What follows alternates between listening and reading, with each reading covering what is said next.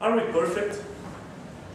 Knowing that, can we say that the computer softwares that we create are perfect? Can we let that software decide who must live or who must die? I said that because the technology that gives this autonomy to the software already exists. And the US Army is waiting for an approval to use this software in army robots. These robots are used in the battlefields and even in the big cities. And they will be able to kill a human being without any external order. And of course, with no remorse. My name is Felipe, and I'm here to convince you that the autonomous robots technology is extremely dangerous and should be banned. My presentation is divided in three main topics. First, I will tell you why do we need robots assistance in battlefield. Then I will explain how robot autonomy works.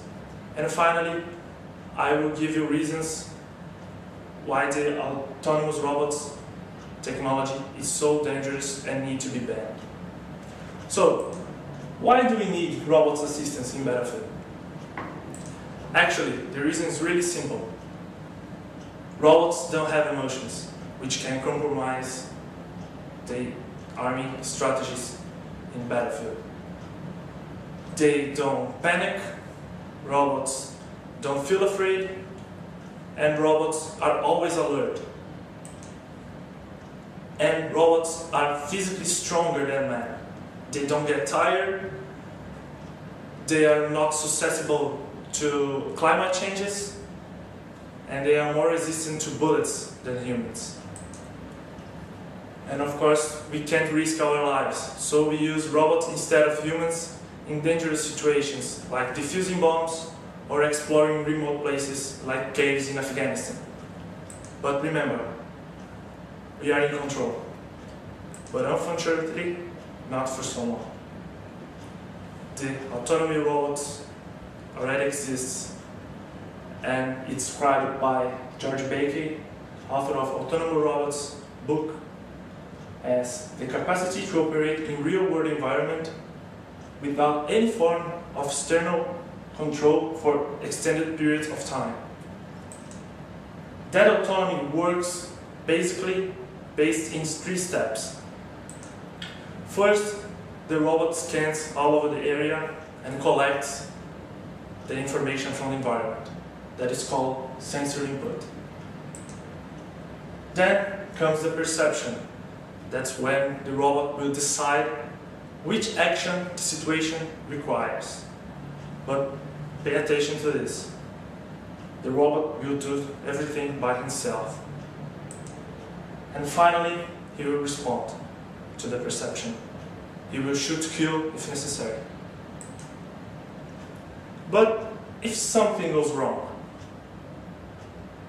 remember from the beginning of the speech, are we able to create something so perfect that the robot won't be able to make a mistake, maybe killing an innocent child? No. The answer is no, we can't create something like this. So we are in danger. There is another thing. Even Allied soldiers are safe, are safe. Because the war field is a very dynamic environment. I will give an example. This is the AK-47. For the US Army, this is the enemy's weapon. The robot will scan the enemy he will search for this weapon, and if you are using this weapon, he will shoot you. And just thinking, hypothetical situation, you are in a battlefield, and you are out of ammunition. And the same time, you look down and you see your enemy's weapon, the AK-47, fully loaded. What would you do? If you, if you don't swap it, you will be unarmed and you will be an easy target. But if you swap it, the robot will see you as an enemy and he will shoot you. You will be dead. There is another problem, black market. According to United States Bureau of Alcohol, Tobacco, Firearms and Explosives, or well known by ATF, according to them, in two years between 2008 and 2010, we, they lost almost 62,000 arms to the black market. Just imagine these robots in wrong hands. What would happen?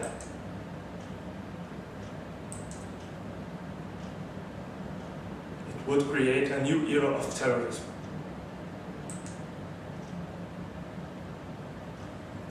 Remember, we create robots to assist us, not to decide for us. I hope I had convinced you that the idea of technology, uh, autonomous robots technology is extremely dangerous and we should ban it. Thank you.